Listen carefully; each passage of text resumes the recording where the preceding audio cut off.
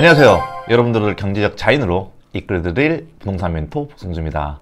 이제 분양 시장과 관련해서 지금 최근에 대출 규제가 어, 완화가 됐죠. 특히 중도금 대출 규제가 완화됐고 그리고 줍줍이죠. 예, 무순위 청약에 대한 부분에 있어서도 자격 요건이 이제 완화된 상황입니다. 전체적으로 좀 분양 시장에 예, 좀더 훈풍이 어, 불고 있는 상황인데 이번 그 중도금 대출 규제 완화가 어, 부동산 시장에 또 어떤 영향을 미칠지 그리고 왜 정부에서 이렇게 분양 관련 대출 완화에 좀 더 적극적으로 대응하고 있는지 이 부분에 대해서 좀 말씀을 한번 드려보도록 하겠습니다. 자, 분양시장 대출 규제가 추자가 완화됐습니다. 그래서 3월 20일부터는요, 어, 이제 중도금 대출 규제가 어, 폐지가 됐는데, 크게 내용은 두 가지입니다. 아, 첫 번째는요, 어, 중도금 대출의 분양가 상한. 어, 지금 현재는 이게 원래 9억에서 12억으로 올렸는데, 이 기준조차도 이제 폐지를 하겠다. 라는 부분이고요. 어, 두 번째는 이건 어떻게 보면 이제 그 대상이죠 대상. 예, 아파트 가격 대상. 아, 근데 두 번째는 이거를 사는 사람. 예, 인당 중동 대출 보증 한도가 5억까지겠어요. 그래서 5억을 초과하는 금액에 대해서는 대출이 안된 예, 그런 상황이었습니다. 5억까지 이렇게 했었는데 이게 인당 규제도 폐지하고요. 그 다음에 대상에 대한 규제도 다 폐지하겠다는 겁니다. 그래서 실질적으로 중도금과 관련된 부분에 있어서는요. 이제 대출의 규제에 대한 부분이 지금 다 정리가 된 상황이고 어, 어떤 물건을 하더라도 분양가 60%까지는 대출이 다 가능하다 이렇게 보시면 될 것 같아요. 어, 그래서 예를 들어서 뭐 20억을 한다 라고 하더라도 실질적으로 어, 본인의 어떤 상환 능력만 있다고 하면 어, 12억까지는 뭐 대출이 가능한 이런 상황이 됐다 이렇게 보시면 될 것 같고요. 어, 다만 이 부분은 이제 분양에 대한 부분입니다. 예, 분양에 대한 부분이고요. 자, 중도금 대출 대상. 아, 대상은요, 이제 3월 20일 이후부터 중도금 납부를 진행하는 사업장, 아, 이건 당연히 포함되고, 이것도 포함시켰어요. 기존에 1회차 이상 중도금을 어, 납부를 했다 하더라도, 이 사람 역시도 어, 중도금 대출 규제에 적용받지 않는 대상자로서 적용시키겠다는 거거든요. 음, 그러면 앞으로뿐만 아니라 기존에 했던 기존에 현재 지금 중도금을 납부하려고 하는 그 사람조차도 이제 보증 한도 어, 이런 부분에서 규제를 받지 않기 때문에 에, 좀 숨통이 튀었다 좀 이렇게 좀 이야기를 할 수 있지 않을까라는 생각이 듭니다. 자 그러면 어, 지금 이런 중도금 대출 규제가 폐지됨으로 인해서 이게 부동산 시장에 좀 어떠한 영향을 미칠 수 있을지에 대한 부분을 지금부터 좀 말씀을 드려보도록 하겠는데요. 이번에 이제 기준이 12억 초과 아파트에 대한 부분이잖아요. 예, 그래서 어, 12억 초과 고가 아파트의 어떤 분양 수요가 당연히 증가하겠죠. 어, 증가를 할 것이고, 근데 좀 뭐 시점도 그렇고요. 뭐 9억에서 12억으로 올린 시점도 그렇고, 그다음에 뭐 폐지한 것도 그렇고, 어, 이게 뭐 우리가 뭐 둔촌 주공을 구하기 위한 어떤 정부의 노력의 결과이지 않느냐, 뭐 이렇게 어, 이야기를 하는데 아이러니하게도 타이밍이 너무 절묘하게 맞은 것 같아요. 예, 너무 절묘하게 예, 맞은 것 같고 어 그러면 만약에 둔촌주공이 이제 미분양 사태가 발생을 했다라는 가정하에 어 이게 뭐 건설사뿐만 아니라 실질적으로 이게 어, 서울 그리고 경제에 미치는 파급 효과 이런 부분들이 무시할 수 없을 정도의 예, 큰 파급력이 나타나지 않았을까 생각이 들거든요. 그래서 정부의 입장에서는 어, 어떻게 하든 최대한 이런 어떤 미분 사태를 막기 위해서 그리고 지금 정부가 사실상 지금 미분양이 많이 좀 증가를 하고 있지 않습니까? 지금 뭐 7만 5천까지 뭐 1월 기준으로 증가를 했고 그리고 정부는 앞으로 10만까지는 증가할 것으로 이제 예상을 하고 있는 그런 상황이고 어, 근데 10만까지 증가한다 하더라도 지금 좀 여유 있게 뭔가 대처를 하고 하는 모습들이 과거에 2009년도에 미국에 그때까지 16만 정도가 이렇게 발생했거든요. 그때 이제 정점을 찍고 그리고 나서 이제 감소를 하고 어, 줄어드는 그런 모습을 보였는데 어, 그때 경험했던 그 부분들이 어, 지금 어, 10만 정도까지는 첫 번째는 커버할 수 있겠다라는 생각을 좀 하고 있는 것 같아요. 즉 10만 정도 미분양이 증가를 한다 하더라도 그 이상만 증가하지 않으면 정부가 예상하고 있는 소위 말하는 그 부동산 연착륙에 대한 기조의 흐름을 같이 가져가지 않겠느냐. 그래서 정부 입장에서는 그냥 그런 것, 그런 생각이 들어요. 그러니까, 음, 너무 빠른 속도로 미분양에 대한 대책을 또 어떤 혜택을 주면서 이걸 소진시키고, 어, 이러지 않는 것이 정부의 정책적 기조로 놓고 봤을 경우에도 맞지 않느냐라는 좀 생각을 좀 어, 하게 되는 것 같고요. 예. 네, 그럼에도 불구하고 너무 큰 파급력이 있는 아파트에 사태가 터졌을 때 그걸로 시작을 해서 다른 건설사까지 영향을 미치게 된다고 한다면 그거는 막아야 되지 않겠느냐. 음, 뭐 정치적인 거라고 말하기는 좀 어렵겠지만, 예, 뭐 정략적인 어, 그런 어떤 생각을 저는 왠지 지울 수 없는 것 같아요. 예. 그런 생각 좀 들었습니다. 어.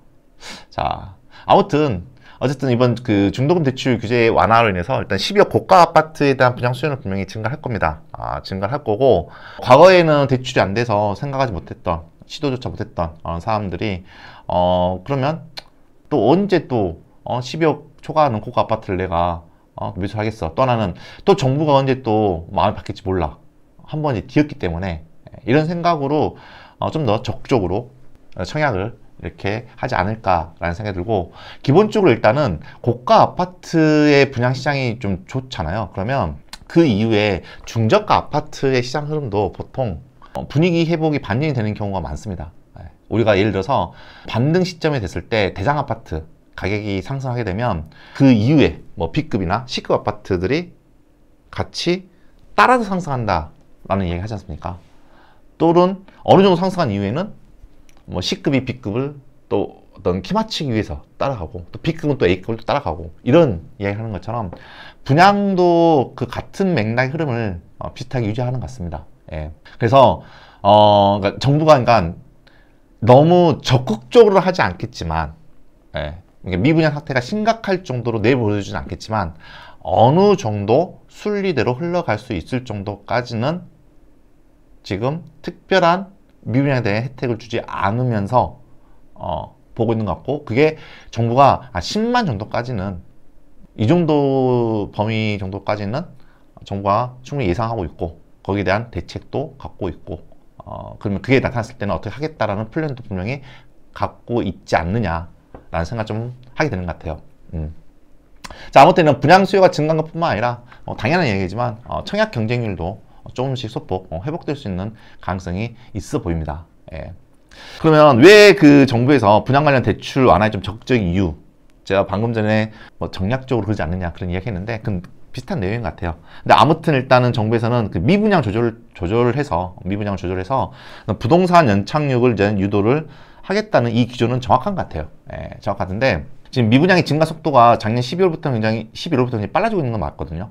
빨라지고 있는 건 맞는데 그럼에도 불구하고 10만 이후에 빨릴 수 있을까에 대한 부분에 있어서는 정부가 좀 더 당당하기 때문에 10만까지 생각하고 있다. 이렇게 좀 이야기하고 있는 게 아닌가라는 생각을 하고 있고 또 하나는 지금 현재 아파트 가격이 전국적인 아파트 가격이 하락폭이 둔화되는 부분도 정부가 예상하고 있는 부동산 연착륙 방향으로 흘러가고 있기 때문에 지금 거기에 대한 어떤 자신감을 갖고 이야기하고 있는 게 아닌가라는 좀 생각을 어, 하게 됩니다.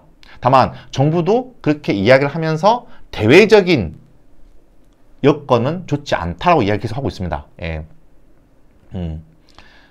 그래서 뭐 어떤 그 거시경제 상황에 대한 부분, 국내적, 국내외적인 상황 부분은 좋지 않다는 이야기를 합니다. 아, 그럼에도 불구하고 어, 연착륙에 대한 부분에 있어서는 어, 지금 정부의 의도대로 어, 끌고 가고 있는 게 아닌가. 근데 저 입장에서는 다행이죠. 왜냐하면 부동산 경착륙이 돼버리면 그래서 뭐 작년에 의해서 올해도 내년도 계속해서 급격하게 하락이 되기, 된다라고 했을 경우에는 그러면 이게 경제적인 파장, 사회적인 파장이 굉장히 커지게 되는 거잖아요.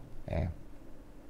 그래서 어, 다행스러운 이야기입니다. 어떻게 보면 예, 정말 연착륙이 된다고 한다면 어, 다행스러운 이야기고 그리고 연착륙 다음에는 다시 이제 반등 시그널에 나타나는 시점이 더 이렇게 빨리 다가올 수도 있는 어떤 기대도 할 수 있기 때문에 정부의 지금 정책적인 정책의 의지에 되고 있는 건지 아니면 이런 시장의 흐름에 의해서 정책의 의도에 맞춰지고 있는 건지에 대한 부분에 있어서는 이게 뭐가 맞다라는 명확 뭐가 맞다고 명확하게 이야기는 할 수는 없을 것 같아요. 예. 아무튼 지금 현재 흐름대로 한다면 어, 현재 지금 연착륙의 흐름 방향대로 어, 가고 있다라고 좀 볼 수 있을 것 같아요. 예. 두 번째는 건설사 부도를 일단 최소화 시켜서 경제 악영향을 좀 차단시키겠다라는 어, 이런 어, 의지가 어, 보입니다. 보이는데 어, 사실 이제 건설사 부도 같은 경우에는 서울권보다는요 어떤 그 지방 예, 지방에 현재 지금 그런 모습을 많이 나타나고 있고 어, 최근의 뉴스 같은 경우에도 이게 오늘자 뉴스거든요. 오늘자 뉴스를 몇 개 이렇게 음, 정리를 해봤는데 어, 대부분 건설사 같은 경우에는 어, 13 대책 이후에 많이 힘들어졌다라고 얘기하고 있고 어, 최근에 그 뭐 울산 경남 지역의 뭐 항중견 건설사 대표가 뭐 자금난으로 뭐 극단적인 선택을 했다 지금 그런 이야기도 하고 있는데 뭐 지방 건설사 같은 경우는 하루에 10곳씩 지금 줄폐업을 하고 있다고 이렇게 이야기를 하고 있는 상황이거든요. 음. 그러면 지방 건설사가 계속 불폐업을 하고 있다는 것은 결과적으로 지방시장의 부동산 시장의 분위기가 어, 서울권에 비해서는 확실히 많이 좋지 않다라는 그런 반증이라 좀 보고 있고 그럼 나중에 회복이 된다 했을 때 과연 지방의 회복력이 더 빨리 나타날 수 있을까에 대한 부분에 있어서는 지금 현재 상태가 계속 유지된다 라는 가정하에서 본다고 한다면 쉽지 않을 수도 있겠다는 생각이 들어요 예.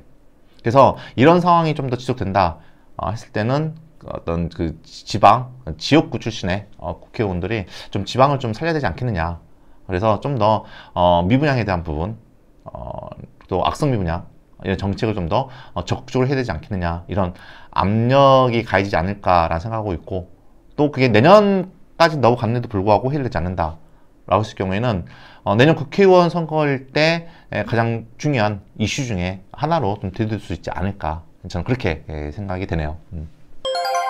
도움이 되셨나요? 그러면 구독하기와 좋아요 꼭 눌러주시기 바랍니다.